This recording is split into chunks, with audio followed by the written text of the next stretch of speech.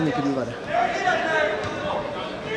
Det er det masse land og klubber som spør om hele tiden, og du behandler alle likt. Så ingen- filmer fra nede på Så ingen fotografer fra Ikke hvert lag som tar ett. Så Oslo fotballkrets vil liksom ikke være med å promotere fotballen i det hele tatt? Det er ikke det det diskuteres. Jo, det